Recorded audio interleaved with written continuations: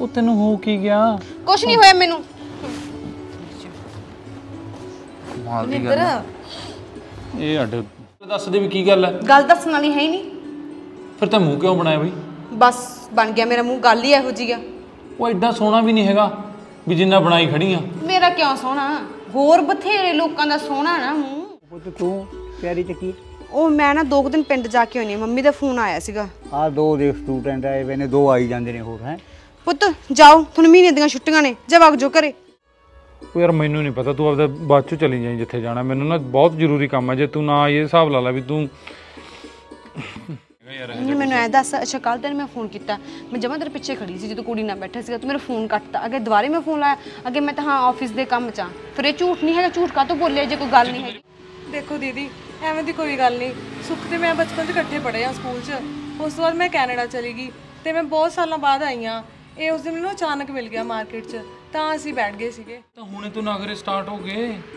ਅੱਗੇ ਅੱਗੇ ਕੀ ਬਣੂਗਾ? ਹਾਂ ਤੂੰ ਤਾਂ ਹੁਣੇ ਤੇ ਝੂਠ ਮਾਰਨੇ ਸਟਾਰਟ ਕਰਤੇ ਅੱਗੇ ਕੀ ਬਣੂਗਾ? ਮੈਨੂੰ ਮਨਜ਼ੂਰ ਨਹੀਂ ਹੈਗਾ ਇਹ। ਮੈਨੂੰ ਵੀ ਮਨਜ਼ੂਰ ਨਹੀਂ ਹੈਗਾ ਉਹ ਤਾਂ ਝੂਠ ਮਾਰ ਹੋਰ ਫਿਰ ਅੱਜ ਕਿਵੇਂ ਮਾਸਟਰ ਨਹੀਂ ਰਾਹ ਭੁੱਲ ਗਈ ਘਰ ਦਾ ਸਾਡੇ ਦਾ? ਨਹੀਂ ਕੀ ਦੱਸਾਂ ਬਸ ਪੁੱਛ ਹੀ ਨਾ।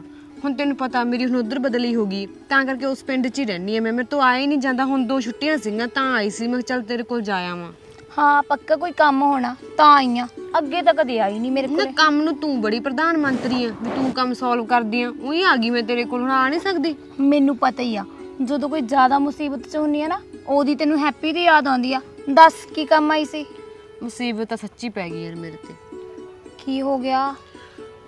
ਮੈਂ ਸਹੀ ਗੱਲ ਦੱਸਾਂ ਤੈਨੂੰ ਮੈਂ ਜਿੱਥੇ ਰਹਿਣੀ ਆ ਨਾ ਹੁਣ ਪੀਜੀ 'ਚ ਉੱਥੇ ਨਾ ਉਹਨਾਂ ਦਾ ਮੁੰਡਾ ਤੇ ਉਹ ਮੈਨੂੰ ਬਹੁਤ ਪਸੰਦ ਕਰਦਾ ਤੇ ਮੈਂ ਵੀ ਉਹਨੂੰ ਬਹੁਤ ਪਸੰਦ ਕਰਦੀ ਆ। ਲੈ ਦੱਸ।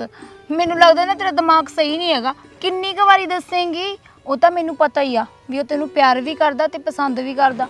ਤਾਂ ਹੀ ਤਾਂ ਤੈਨੂੰ ਸਾਡੇ ਵਰਗਿਆਂ ਦੀ ਯਾਦ ਨਹੀਂ ਆਉਂਦੀ ਹੈਗੀ। ਤੂੰ ਬਸ ਜਲ ਕੁੱਕੜੀ ਬਣਿਆ ਰਿਹਾ ਕਰ।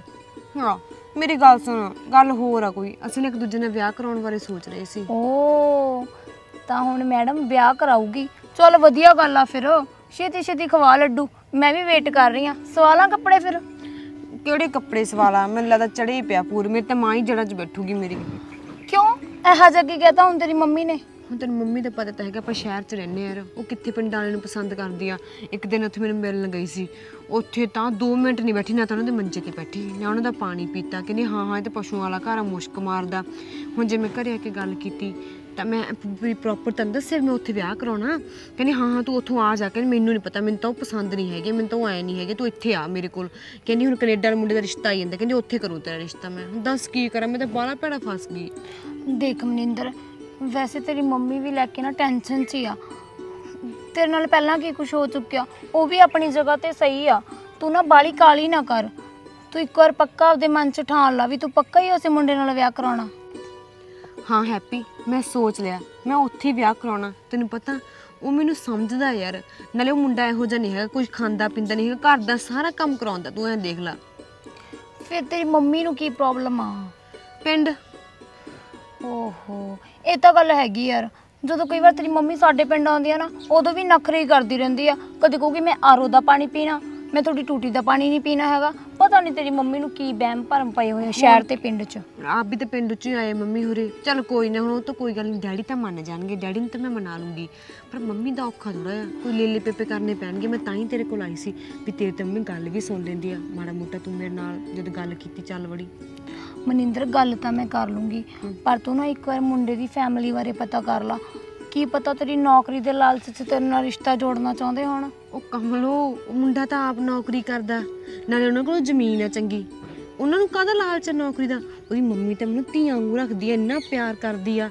ਬਹੁਤ ਚੰਗੇ ਬੰਦੇ ਨੇ ਉਹ।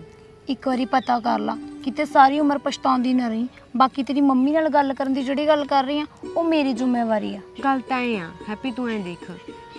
ਜੇ ਮਾਂ ਪਿਓ ਵੀ ਜਿੱਥੇ ਕਰਦੇ ਆ ਕਿ ਮਾਂ ਪਿਓ ਨੂੰ ਪਤਾ ਹੁੰਦਾ ਵੀ ਉਹ ਬੰਦੇ ਚੰਗੇ ਨੇ ਕਿਹੋ ਜਿਹੇ ਨਿਕਲਦੇ ਨੇ ਬਾਅਦ ਚ? ਆਪਾਂ ਨੂੰ ਤਾਂ ਕੁਝ ਨਹੀਂ ਪਤਾ ਹੁੰਦਾ ਨਾ। ਹੈਂ? ਇਹ ਤਾਂ ਗੱਲ ਹੈਗੀ ਆ ਮਨਿੰਦਰ ਪਰ ਇੱਕ ਗੱਲ ਹੋਰ ਵੀ ਆ। ਜੇ ਆਪਾਂ ਆਪਣੀ ਮਰਜ਼ੀ ਨਾਲ ਕਰਾਉਂਦੇ ਆ ਬਾਅਦ ਚੋਂ ਕੋਈ ਗਲਤੀ ਨਿਕਲ ਜਾਂਦੀ ਆ ਤਾਂ ਮਾਪੇ ਇਹੀ ਕਹਿੰਦਾ ਵੀ ਤੈਨੂੰ ਪਹਿਲਾਂ ਕਿਹਾ ਸੀ ਤੂੰ ਸੋਚ ਸਮਝ ਕੇ ਕਰਾਉਣਾ ਸੀ। ਜੇ ਆਪਾਂ ਸੋਚ ਸਮਝ ਕੇ ਕਰਾਉਣੇ ਉੱਥੇ ਕਿਹੜਾ ਫਿਰ ਮਾਂ ਪਿਓ ਨਾਲ ਖੜ ਕੇ ਆਪਣੀ ਕਿਸਮਤ ਬਦਲ ਦਿੰਦਾ? ਇਹ ਤਾਂ ਗੱਲ ਹੈਗੀ ਆ ਯਾਰ। ਪਰ ਤੂੰ ਦੇਖ ਲੈ ਯਾਰ ਜਿਵੇਂ ਤੈਨੂੰ ਸਹੀ ਲੱਗਦਾ। ਚਲ ਐਂ ਤਾਂ ਹੋ ਜਾਊਗਾ ਵੀ ਇਹ ਫੈਸਲਾ ਮੇਰਾ ਖੁਦ ਦਾ ਸੀਗਾ ਜੇ ਮੇਰੇ ਨਾਲ ਕੱਲ ਨੂੰ ਕੁਝ ਹੁੰਦਾ ਮੈਨੂੰ ਐਂ ਤਾਂ ਹੋਊ ਵੀ ਮੇਰਾ ਖੁਦ ਦਾ ਫੈਸਲਾ ਸੀਗਾ। ਮੈਂ ਆਪਦੇ ਆਪ ਨੂੰ ਕੋਸੂੰਗੀ ਕੱਲ ਨੂੰ ਮਾਂ ਪਿਓ ਜਿੱਥੇ ਕਰੂਗਾ ਉੱਥੇ ਕੁਝ ਹੋ ਗਿਆ ਫਿਰ ਸਾਰੀ ਉਮਰ ਐਂ ਹੁੰਦਾ ਵੀ ਮਾਂ ਪਿਓ ਨੇ ਐਂ ਕਰਤਾ। ਹੂੰ ਵੈਸੇ ਮੁੰਡਾ ਦੇਖਣ 'ਚ ਤਾਂ ਨਹੀਂ ਲੱਗਦਾ ਮੁੰਡਾ ਦੇਖਣ 'ਚ ਤਾਂ ਬਹੁਤ ਵਧੀਆ ਲੱਗਦਾ ਤੇ ਸਿਆਣਾ ਵੀ ਲੱਗਦਾ। ਵੈਸੇ ਵੀ ਤੁਹਾਡੀ ਜੋੜੀ ਵੀ ਬੜੀ ਸੋਹਣੀ ਲੱਗਦੀ ਆ। ਮੈਂ ਦੇਖੀ ਸੀ ਇੱਕ ਵਾਰ ਤੁਸੀਂ ਖੜੇ ਸੀਗੇ ਮੈਂ ਤੇ ਮੇਰੀ ਫਰੈਂਡ ਜਾ ਰਹੀਆਂ ਸੀ। ਉਹ ਕਹਿੰਦੀ ਜੋੜੀ ਬੜੀ ਸੋਹਣੀ ਆ ਪਰ ਮੈਂ ਉਹਨੂੰ ਦੱਸਿਆ ਨਹੀਂ ਵੀ ਇਹ ਮੇਰੀ ਫਰੈਂਡ ਆ। ਅੱਛਾ। ਯਾਰ ਬਸ ਜੋੜੀ ਮੈਂ ਤਾਂ ਕਹਿੰਦੀ ਬਾਣੀ ਜਾਵੇ ਸਾਡੀ ਬਸ। ਜੋੜੀ ਤਾਂ ਬਣ ਜੂਗੀ ਸਬਰ ਰੱਖ ਮੈਡਮ। ਉਤਾਵਲੀ ਨਾ ਹੋਇਆ ਕਰ। ਵੈਸੇ ਵੀ ਨਾ ਸਿਆਣੇ ਕਹਿੰਦੇ ਹੁੰਦੇ ਆ ਕਿ ਸਬਰ ਦਾ ਫਲ ਮਿੱਠਾ ਹੁੰਦਾ। ਬਸ ਸਵਰੀ ਤਾਂ ਕਰੀ ਜਾਂਦੀ ਮਿੱਠਾ ਫਲ ਹੀ ਖਾਵਾਂਗੇ ਆਪਾਂ ਕੌੜਾ ਨਹੀਂ ਖਾਂਦੇ ਚੱਲ ਮੈਨੂੰ ਐ ਦੱਸ ਉਹ ਕਮਲਾ ਚ ਤਾਂ ਨਹੀਂ ਹੁਣ ਤੇਰੇ ਪਿੱਛੇ ਆਉਂਦਾ? ਪਿੱਛੇ ਤਾਂ ਨਹੀਂ ਆਉਂਦਾ। ਪਰ ਨਾ ਚੜੀ ਮਹੀਨੇ ਨੂੰ ਪੈਸੇ ਪਾਉਣੇ ਪੈਂਦੇ ਆ। ਬਲੈਕਮੇਲ ਕਰਦਾ ਯਾਰ ਉਹ ਮੈਨੂੰ। ਯਾਰ ਇਹ ਤਾਂ ਗਲਤ ਆ। ਦੇਖ ਮਨਿੰਦਰ ਉਹ ਮੁੰਡੇ ਨਾਲ ਜੋ ਵੀ ਤੇਰਾ ਝਗੜਾ ਨਾ ਬਹਿ ਕੇ ਸੋਲਵ ਕਰ ਲੈ ਵਿਆਹ ਤੋਂ ਪਹਿਲਾਂ। ਕਿਤੇ ਬਾਅਦ ਚ ਵੀ ਨਾ ਤੈਨੂੰ ਟੌਰਚਰ ਕਰੀ ਜਾਵੇ ਉਹ। ਜੇ ਮਨਿੰਦਰ ਵਿਆਹ ਤੋਂ ਬਾਅਦ ਤੇਰੇ ਸਹੁਰੇ ਪਰਿਵਾਰ ਨੂੰ ਇਹ ਗੱਲ ਦਾ ਪਤਾ ਲੱਗ ਗਿਆ ਨਾ ਤਾਂ ਬਹੁਤ ਵੱਡਾ ਇਸ਼ੂ ਬਣ ਜਾਊ। ਤੇਰੀ ਆਉਣ ਵਾਲੀ ਜ਼ਿੰਦਗੀ ਖਰਾਬ ਕਰ ਦੂਗਾ ਮੈਨੂੰ ਸਾਰਾ ਪਤਾ ਪਰ ਮੈਂ ਵੀ ਕੀ ਕਰਾਂ? ਆਹੀ ਗੱਲ ਤੋਂ ਡਰਦੀ ਮੈਂ ਤਾਂ ਉਹਨੂੰ ਪੈਸੇ ਪਾਉਣੇ ਆ ਵੀ ਚੱਲ ਕੇਰਾਂ ਦਾ ਮਹੀਨਾ ਮੂੰਹ ਬੰਦ ਹੋ ਜਾਂਦਾ ਤੈਨੂੰ ਪਤਾ ਨਸ਼ੇੜੀ ਹੈਗਾ ਉਹਦਾ ਨਸ਼ਾ ਪੱਤਾ ਹੀ ਚਾਹੀਦਾ ਤਾਂ ਹੀ ਪੈਸੇ ਮੰਗਦਾ ਮੇਰੇ ਤੋਂ ਉਹ। ਮੈਨੂੰ ਤਾਂ ਨਾ ਕਦੇ ਕਦੇ ਸੋਚ ਕੇ ਆਪਦੇ ਆਪ ਤੇ ਗੁੱਸਾ ਚੜਦਾ ਵੀ ਯਾਰ ਕੁੜੀਆਂ ਕਿਉਂ ਟਰਸਟ ਕਰਦੀਆਂ ਨੇ ਇੰਨਾ ਮੁੰਡਿਆਂ ਤੇ? ਅੰਨੀਆਂ ਹੋ ਜਾਂਦੀਆਂ ਨੇ ਨਾ। ਚੱਲ ਛੱਡ ਯਾਰ ਫਾਲਤੂ ਦੀ ਟੈਨਸ਼ਨ ਨਾ ਲੈ ਜੋ ਗਿਆ ਸੋ ਗਿਆ ਹੁਣ ਤੇਰੇ ਕੋਲ ਸੁੱਖ ਤਾਂ ਹੈਗਾ ਨਾ। ਹੁਣ ਖੁਸ਼ ਰਿਹਾ ਕਰ। ਮੈਂ ਇੱਕ ਤੇਰੇ ਨਾਲ ਹੋਰ ਗੱਲ ਕਰਨੀ ਸੀ ਜੇ ਮੈਂ ਆਹ ਗੱਲ ਸੁੱਖ ਨੂੰ ਦੱਸਾਂ ਜੇ ਤਾਂ ਯਾਰ ਤੈਨੂੰ ਪਿਆਰ ਕਰਦਾ ਹੋਣਾ ਤਾਂ ਕਾਮਨ ਜੀ ਗੱਲ ਆ। ਤੈਨੂੰ ਸਮਝੂਗਾ ਉਹ। ਪਰ ਕਈ ਵਾਰ ਡਰ ਵੀ ਲੱਗਦਾ ਯਾਰ ਵੀ ਮਸਾਂ ਤਾਂ ਜ਼ਿੰਦਗੀ 'ਚ ਖੁਸ਼ੀਆਂ ਆਉਂਗਾ ਕਿਤੇ ਫੇਰ ਨਾ ਵਾਪਸ ਮੁੜ ਜਾਣ। ਦੇਖ ਮਨਿੰਦਰ ਜੋ ਵੀ ਗੱਲ ਕਰਨੀ ਹੈ ਨਾ ਥੋੜੇ ਠੰਡੇ ਸੁਭਾਅ ਨਾਲ ਕਰੀ। ਸੁੱਖ ਨੂੰ ਤਾਂ ਇਹ ਗੱਲਾਂ ਸਮਝਾ ਦੇਗੀ ਉਹ ਸਮਝ ਵੀ ਜਾਊਗਾ ਪਰ ਉਹਦੀ ਫੈਮਿਲੀ ਨੂੰ ਨਹੀਂ ਸਮਝ ਆ ਸਕਦੀ ਤੂੰ। ਟੈਨਸ਼ਨ ਹੋਈ ਪਈ ਆ ਸਾਰੀ ਗੱਲਾਂ ਦੀ। ਸਾਰੀ ਰਾਤ ਨੀਂਦ ਨਹੀਂ ਮੇਰੀ ਗੱਲ ਸੁਣ ਮੈਡਮ ਟੈਨਸ਼ਨ ਲੈਣ ਨਾਲ ਕੁਝ ਨਹੀਂ ਹੁੰਦਾ ਹੈਗਾ। ਆ ਮੂੰਹ ਦੇਖ ਲੈ ਆਪਦਾ ਪਹਿਲੀ ਟੈਨਸ਼ਨਾਂ 'ਚ ਕਿੰਨਾ ਖਰਾਬ ਕੀਤਾ ਤੂੰ। ਚੱਲ ਕੋਈ ਨਾ ਜਦੋਂ ਟੈਨਸ਼ਨ ਮੁੱਕੂਗਾ ਮੂੰਹ ਵੀ ਆਪੇ ਸੈੱਟ ਹੋ ਜਾਣਗੇ। ਚੱਲ ਹੁਣ ਤੂੰ ਐਂ ਕਰ ਗੱਲਾਂ ਗੱਲਾਂ 'ਚ ਹੋਰ ਹੀ ਭੜਥੂ ਪਾ ਲਿਆ ਆਪਾਂ। ਮੈਨੂੰ ਐਂ ਦੱਸ ਕੀ ਖਾਏ ਪੀਏਂਗੀ? ਮੈਂ ਤਾਂ ਨਿੰਬੂ ਪਾਣੀ ਪਿਆ ਦੇ। ਦੱਸ। ਗਰਮੀ ਬਹੁਤ ਆ। ਮੈਂ ਤਾਂ ਐਸੀ ਹੁਣ ਮਾਸਟਰ ਨਹੀਂ ਬਣ ਗਈ ਕਿਤੇ ਕਾਫੀ ਸ਼ਾਫੀ ਕਹੇਂਗੀ ਪਿਲਾ ਦੇ। ਨਾ ਨਾ ਕਾਫੀ ਵਾਲੀ ਹਜੇ ਆਪਾਂ ਹੋਏ ਨਹੀਂ ਹੈਗੇ ਨਿੰਬੂ ਪਾਣੀ ਵਾਲੀ ਆ।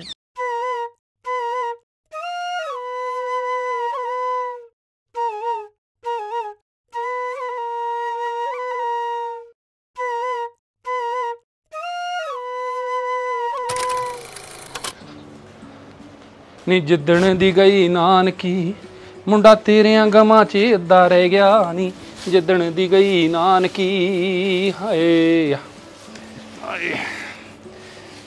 ਔਖਾ ਹੀ ਆ ਭਰਾਵਾ ਬਾਹਲਾ ਗਰਮੀ ਦਾ। ਡੰਗਰ ਪਤਾ ਨਹੀਂ ਕਿਵੇਂ ਸਾਰੀ ਜਾਂਦੇ ਨੇ ਮੈਸਾਂ। ਔਖਾ ਹੈ ਬਾਈ ਮੇਰੇ ਵਰਗਾ ਵੀਰ ਭਾਈ ਤਾਂ। ਕੰਡਾ ਜਾ ਪਾਉਣ।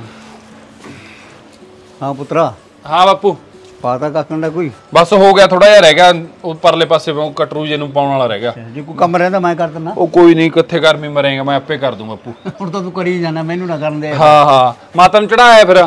ਉਹ ਚੜਾ ਗਿਆ ਸਰਕਾਰੀ ਬੱਸਾਂ ਦਾ ਜੱਬ ਹਾਂ। ਤਾਂ ਟਾਈਮ ਲੱਗ ਗਿਆ ਬਸ ਉੱਥੇ। ਉਧਾਰ ਕਾਰਡ ਤੋਂ ਬਿਨਾ ਉਹ ਨਹੀਂ ਤੁਰਦੀ ਹੋਰ ਹੈਗੀ। ਹੋਰ ਮੈਂ ਆਖਿਆ ਤੁਸੀਂ ਪ੍ਰਾਈਵੇਟ ਤੇ ਚੜ ਜਾਓ। ਇਹਨਾਂ ਨੂੰ ਬੁੜੀਆਂ ਨੂੰ ਐ ਹੁੰਦਾ ਵੀ ਸਾਡੇ ਪੈਸੇ ਨਾ ਲੱਗੇ ਹਾਂ ਹਾਂ ਹਾਂ ਹੈ? ਹਾਂ। ਵੀ ਦੱਸ ਤੂੰ ਜਿਹੜੀ ਆਉਂਦੀ ਉਹ ਤੇ ਵਗ ਜਾ। ਤੂੰ ਕੀ ਉੱਥੇ ਸਰਕਾਰੀ ਤੋਂ ਮੰਗਦੀ ਐ ਸਾਰਾ ਦਿਨ ਬੱਸ ਐਂ ਨਿਗਾ ਰਹਿੰਦੀ ਐ ਵੀ ਉਹ ਘੋੜੇ ਜੇ ਬੱਸ ਘੋੜੇ ਜੇ ਵਾਲੀ ਬੱਸ ਕਦੋਂ ਆਊਗੀ ਹਨਾ? ਐਂ ਕਹੀ ਗਿਆ ਘੋੜੇ ਵਾਲੀ ਬੱਸ ਆ ਜਾਂਦੇ। ਹਾਂ 2 ਘੰਟੇ ਲਾ ਕੇ ਆ ਗਿਆ ਫਿਰ ਤੂੰ ਉੱਥੇ ਬੈਠੇ ਬੈਠੇ। ਉਹ ਫਿਰ ਗੱਲਾਂ ਕਰੀ ਗਏ ਫਿਰ ਉਹਦਾ ਜਿੱਦ ਛੱਡਦੀ ਨਹੀਂ ਤੈਨੂੰ ਪਤਾ ਹੀ ਆ ਆਪਦੀ। ਚੱਲ ਕੋਈ ਨਹੀਂ ਮੈਂ ਉਹ ਚਾਹ ਜੀ ਬਣਾ ਕੇ ਰੱਖੀ ਆ ਉਹ ਪੀ ਲਈ ਬਾਪੂ। ਚਾਹ ਪੀ ਲਾਂਗੇ ਤੇ ਕੋਈ ਉਹਦਾ ਅਨਮਿੰਦਰ ਦਾ ਫੋਨ ਫੋਨ ਆਇਆ। ਮਨਿੰਦਰ ਦਾ ਨਾ ਉਹਦਾ ਕੋਈ ਫੋਨ ਫੋਨ ਜਾ ਆਇਆ ਨਹੀਂਗਾ ਉਹ ਤਾਂ ਮੈਨੂੰ ਕਹਿ ਕੇ ਗਈ ਸੀ ਵੀ ਦੋ ਤਿੰਨ ਦਿਨਾਂ ਦੀਆਂ ਛੁੱਟੀਆਂ ਹੀ ਨੇ। ਅੱਛਾ। ਵੀ ਦੇਖੂਗੀ ਜੇ ਤਾਂ ਮਤਲਬ ਕਿ ਘਰੇ ਨਾ ਜੀ ਲੱਗਿਆ ਫਿਰ ਤਾਂ ਮੈਂ ਪਹਿਲੀ ਆ ਜਾਊਂਗੀ। ਨਹੀਂ ਫਿਰ ਛੁੱਟੀਆਂ ਕੱਟ ਕੇ ਹੀ ਆਊਂਗੀ ਮੈਂ। ਚਲੋ ਜਿਵੇਂ ਫਿਰ ਉਹ ਹਿਸਾਬ ਚ ਆਉਂਦੀ ਹੈ ਗੱਲਬਾਤ ਐਂ। ਖਾਸੇ ਟਾਈਮ ਬਾਅਦ ਗਈ ਸੀ ਕੁਛ ਉਹਦੀ ਮੰਮੀ ਫੋਨ ਕਰੀ ਗਈ ਬਾਰ-ਬਾਰ। ਉਹ ਮਾਂ-ਬਾਪ ਦੀ ਵੀ ਮੰਨਣੀ ਪੈਂਦੀ ਹੈ ਸਾਰੀ ਗੱਲਬਾਤ ਉਹੀ ਗੱਲ ਹੈ ਹਾਂ। ਫਿਰ ਮੈਂ ਵੀ ਨਹੀਂ ਫੋਨ ਜਾ ਕਰਿਆ ਹੈਗਾ। ਮੈਂ ਚੱਲ ਜਦੋਂ ਆਉਣਾ ਹੋਇਆ ਆ ਜੂਗੀ ਠੀਕ ਹੈ। ਤੇ ਚਾਹ ਤੂੰ ਪੀ ਲਈ? ਚਾਹ ਮੈਂ ਪੀ ਲਈ ਬਸ ਹਾਂ ਤੁਸੀਂ ਜਾ ਕੇ ਪੀ ਲਓ। ਮੈਂ ਫਿਰ ਆ ਕਰਦਾ ਮੜਿਆ ਕਟਰੂ ਜੇ ਨੂੰ ਸਾਂਭ ਲਾ ਮੈਂ। ਸਾਂਭ ਲਾ, ਗਰਮੀ ਨਾਲੇ ਮਰ ਜੂਗਾ ਤਾਂ ਜ- ਜੀਭ ਨਿਕਲ ਜਾਂਦੀ ਇਹਦੀ।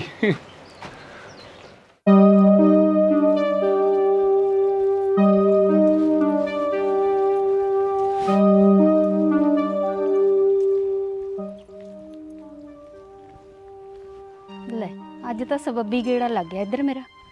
ਸੁੱਖ ਦਾ ਘਰ ਵੀ ਇੱਥੇ ਨੇੜੇ ਜਿਹੀ ਹੈ। ਟਾਈਮ ਵੀ 12 ਹੀ ਵੱਜੇ ਹਜੇ ਤਾਂ। ਚੜੇਲ ਜੀ ਵੀ ਘਰੇ ਨਹੀਂ ਹੋਣੀ। ਦੇਖਾਂ ਨਾ ਜਾ ਕੇ ਘਰੇ ਉਹਨਾਂ ਦੇ। ਕੀ ਪਤਾ ਮੇਰਾ ਸੁੱਖ ਮਿਲ ਹੀ ਜਾਵੇ। ਚਲ ਦੇਖਦੀ ਆ ਜਾ ਕੇ। ਨੀ ਜੋੜਾਂ ਵਿੱਚ ਬਹਿ ਗਿਆ ਜੱਟ ਦੇ। ਚਲ, ਆਰਾਮ ਨਾਲ ਬੈਠ ਜਿਓ ਹੁਣ। ਜੇ ਕੋਈ ਹੁਣ ਨਾ ਹਲਚਲ ਜੀ ਕਰੀਏ ਨਾ, ਹਿਸਾਬ ਲਾ ਲਿਓ, ਮੈਥੋਂ ਮਾੜਾ ਕੋਈ ਨਹੀਂ ਹੋ ਸਕਦਾ ਫਿਰ ਤੁਹਾਡੇ ਵਾਸਤੇ। ਖਾ ਕੇ ਟੋਕਰੇ ਦੇ ਨਾ ਮੇਰੇ ਵਰਗੇ ਦੇ ਗਾਲਾਂ ਪਵਾ ਦਿੰਦੇ ਹੋ। ਇਹਦਾ ਫੋਨ ਆ ਗਿਆ। ਲੈ, ਮੈਡਮ ਜੀ ਦਾ। ਇਹ ਪ੍ਰਭੂ ਇਹ ਕੈਸੇ ਆਇਆ ਸਤਿ ਸ਼੍ਰੀ ਅਕਾਲ ਜੀ ਹਾਂ ਹਾਂ ਵਧੀਆ ਵਧੀਆ ਤੁਸੀਂ ਦੱਸੋ ਉਹ ਕੁਛ ਨਹੀਂ ਬਸ ਤੈਨੂੰ ਪਤਾ ਤਾਂ ਹੈਗਾ ਮੈਂ ਸਾਨੂੰ ਪਾਰ ਦੀਆ ਕੱਕੰਡਾ ਜਹਾਂ ਹਾਂ ਠੀਕ ਨੇ ਸਾਰੇ ਉਹ ਬੇਬੇ ਗਈ ਹੈ ਸ਼ਹਿਰ ਗਈ ਹੈ ਦਵਾਈ ਜੀ ਲੈਣਾ ਅੱਛਾ ਤੂੰ ਕਦੋਂ ਆਉਣਾ ਹਾਂ ਸੱਚ ਤੂੰ ਤਾਂ ਕਹਿ ਕੇ ਗਈ ਸੀ, ਕਹਿੰਦੀ ਮਹੀਨਾ ਲਾਉਂਗੀ। ਉਹ ਲੈ, ਹੁਣ ਹੱਸਣ ਵਾਲੀ ਗੱਲ ਕਰੀਏ, ਹੁਣ ਬੰਦਾ ਹੱਸੂਗਾ ਹੀ, ਹੋਰ ਕੀ ਆ? ਅੱਛਾ।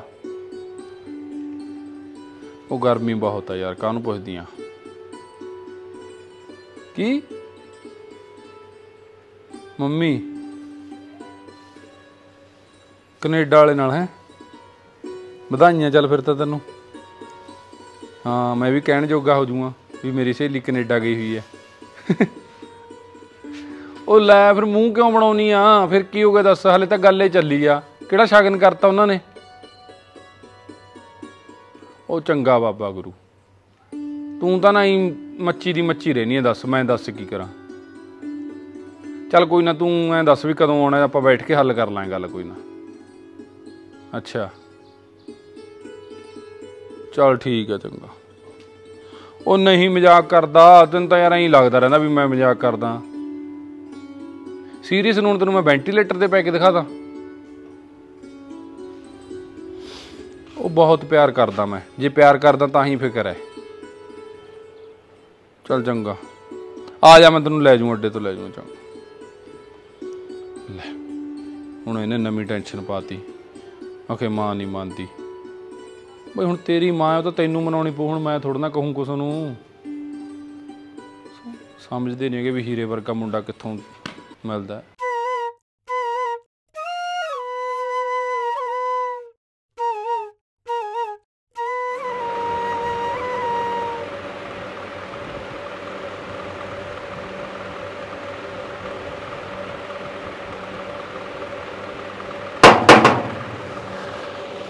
ਕੌਣ ਆ ਗਿਆ ਸਿਖਰ ਦੁਪਹਿਰੇ ਕੌਣ ਆ ਗਿਆ? ਆ ਜਾ ਭਾਈ, ਆ ਜਾ ਅੰਦਰ ਹੀ, ਆ ਜਾ। ਕੌਣ ਆ ਗਿਆ ਸਿਖਰ ਦੁਪਹਿਰੇ? ਲੈ, ਲਾਈਟ ਵੀ ਭੱਜ ਗਈ। ਸਿਖਰ ਦੁਪਹਿਰਾ ਰਕਮਾ 2 ਘੰਟੇ ਆਰਾਮ ਕਰਾਂਗੇ ਤੇ ਇਧਰੋਂ ਮਹਿਮਾਨ ਵੀ ਆ ਗਿਆ। ਜਾਣਦੇ ਨਹੀਂ ਕੁੜੀ ਕੌਣ ਹੋਈ ਹੈ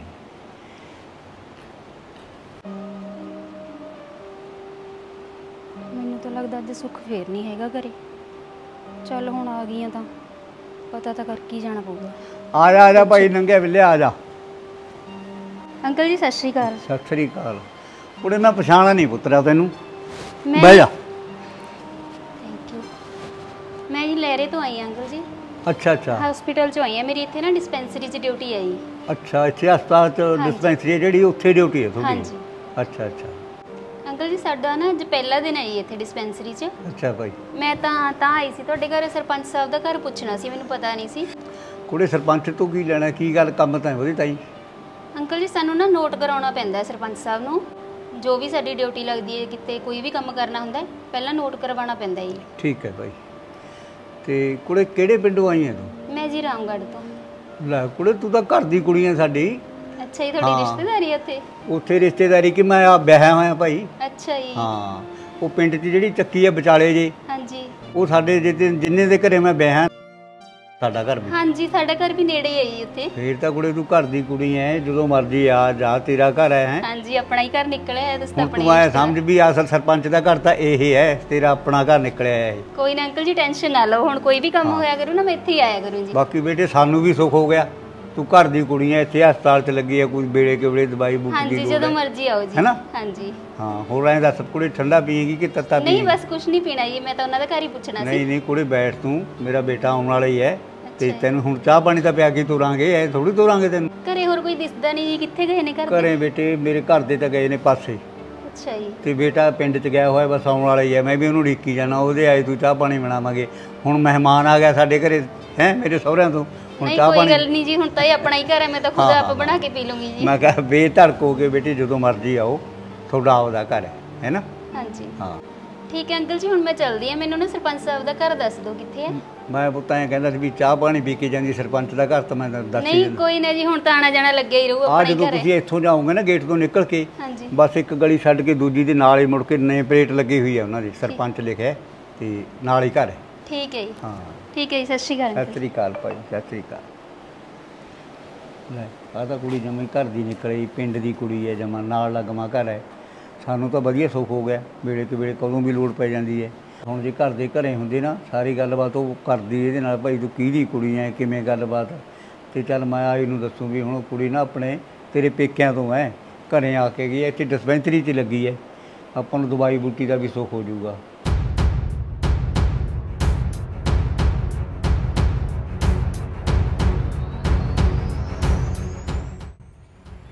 ਇੱਕ ਤਾਂ ਮਾੜੀ ਕਿਸਮਤ ਵੀ ਨਹੀਂ ਸਾਥ ਦਿੰਦੀ ਹੈਗੀ। ਜੇ ਅੱਜ ਉਹ ਚੜੇਲ ਨਹੀਂ ਹੈਗੀ ਸੀ ਘਰੇ ਤਾਂ ਆਪ ਨਹੀਂ ਹੈਗਾ ਰਾਂਝਾ ਘਰੇ। ਕੋਈ ਨਾ ਕਿੰਨਾ ਕੁ ਚਿਰ ਭੱਜੇਗਾ ਕਦੇ ਤਾਂ ਮਿਲੇਗਾ ਹੀ।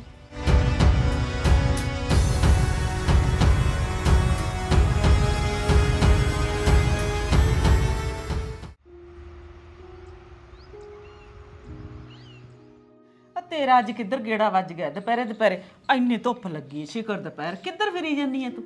ਨਹੀਂ ਮੈਂ ਕਿੱਥੇ ਫਿਰਨਾ ਸੀ? ਮੈਂ ਤਾਂ ਦਵਾਈ ਲੈ ਕੇ ਆਈਆਂ ਲਹਿਰੇ ਤੋਂ। ਆ ਤੈਨੂੰ ਪਤਾ ਮੱਚਣਾ ਬੀਪੀ ਜਾ ਉਹਦੀ ਵੱਧ ਜਾਂਦਾ ਹੈਗਾ। ਓਹੋ ਬੀਪੀ ਤਾਂ ਫਿਰ ਵੱਧਦੇ ਹੀ ਨੇ ਭੈਣੇ। ਇੱਕ ਟੈਨਸ਼ਨਾਂ ਇੱਕ ਕੰਮ ਧੰਦਾ ਤੁਰੀ ਫਿਰਦੀ ਰਹਿਣੀ ਹੈ ਨਹੀਂ ਹੋਰ ਪੁੱਛਣਾ ਆ ਹੁਣ ਚੱਲ ਟੈਨਸ਼ਨ ਹੁਣ ਤਾਂ ਨਿਬੜੀ ਹੋਈ ਆ। ਅੱਛਾ। ਪਰ ਟੈਨਸ਼ਨ ਨੇ ਤਾਂ ਮੈਂ ਜਮੀ ਕਮਲੀ ਕਰਤੀ ਮੇਰਾ ਤਾਂ ਨਾ ਦਿਮਾਗ ਹੱਲਣ ਵਾਲਾ ਹੋਇਆ ਪਿਆ ਤੀ ਕਾਹਨੂੰ ਪੁੱਛਦੀ ਆ। ਨਹੀਂ ਮੈਂ ਆਈ ਤਾਂ ਮੈਂ ਕਈ ਦਿਨ ਟੈਨਸ਼ਨ ਚ ਰਹੀ ਹਾਂ ਮੇਰਾ ਤਾਂ ਬੀਪੀ ਆਪ ਕਦੇ ਤਾਂ ਕਦੇ ਠਾਂ ਕਦੇ ਤਾਂ ਕਦੇ ਠਾਂ। ਆਹੀ ਸਿਆਪਾ ਰਿਹਾ। ਹੁਣ ਦਵਾਈਆਂ ਦੁਈਆਂ ਲੈ ਕੇ ਹੁਣ ਠੀਕ ਹੋਈਆਂ। ਚੱਲ। ਹੋਰ ਚਾਹ ਪੀਣੀ ਹੈ ਨਹੀਂ ਚਾਹ ਨਹੀਂ ਪੀਣੀ। ਮੈਂ ਤਾਂ ਨਾ ਤੇਰੇ ਕੋਲ ਇੱਕ ਕੰਮ ਆਈ ਸੀ। ਨਹੀਂ ਕੰਮ ਦੀ ਛੱਡ। ਨਹੀਂ ਮੈਂ ਤਾਂ ਹੋਰ ਹੀ ਗੱਲ ਸੁਣੀ।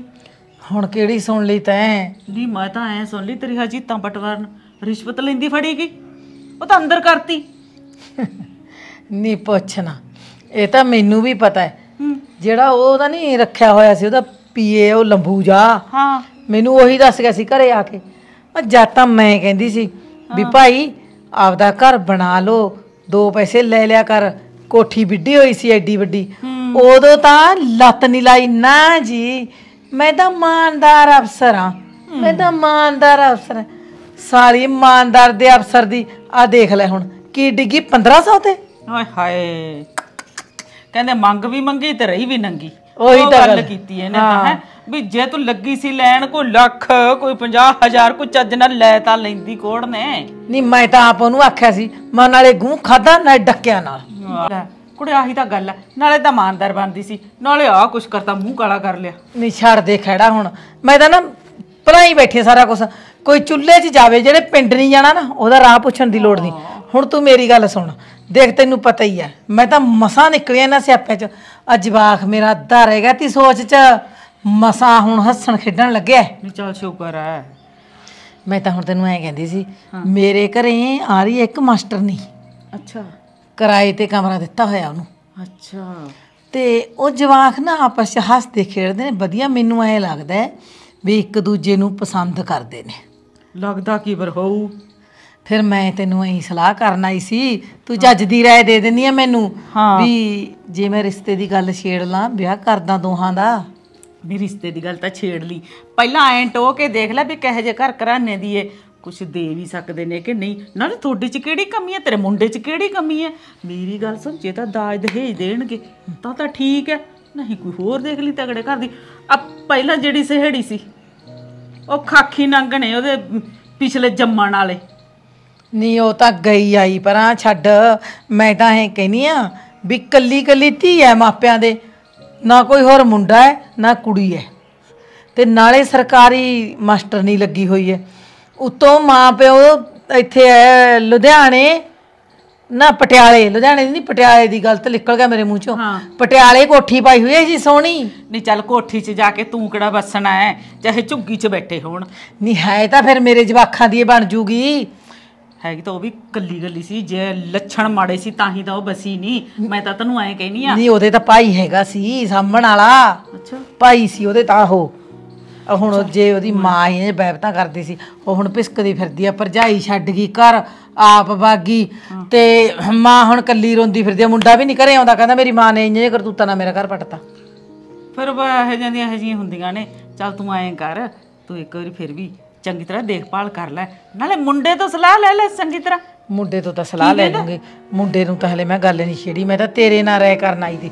ਤੂੰ ਦੇਖ ਮੇਰੀ ਗੱਲ ਸੁਣ। ਨਾ ਇਹ ਤਾਂ ਮੈਨੂੰ ਕੁੜੀ ਪਸੰਦ ਨਾ ਸਾਰਾ ਘਰ ਦਾ ਕੰਮ ਕਰਦੀ ਹੈ ਐ ਨਹੀਂ ਵੀ ਉੱਥੇ ਆਏ ਆ ਜੀ ਕਰੀ ਆਏ ਆ ਜੀ। ਸੋਹਣਾ ਕੰਮ ਕਰਦੀ ਹੈ ਸਾਰਾ ਧੰਦਾ ਕਰ ਲਿਆ ਸੁਦੇ ਗੋਹਾ ਸਿੜਦੀ ਹੈ ਡੰਗਰਾਂ ਨੂੰ ਕੱਖ ਵੀ ਪਾ ਦਿੰਦੀ ਹੈ ਮੇਰੇ ਕੋਲ ਤਾਂ ਉਹਨੂੰ ਕਿਰਾਏ ਤੇ ਹੀ ਰਹਿੰਦੀ ਹੈ ਕਿਹੜਾ ਉਹਨੂੰ ਕੋਈ ਜ਼ਿੰਮੇਵਾਰੀ ਹੈ ਪਰ ਸਾਰੀ ਜ਼ਿੰਮੇਵਾਰੀ ਸੰਭਾਲ ਲੈਂਦੀ ਹੈ ਘਰ ਦੀ।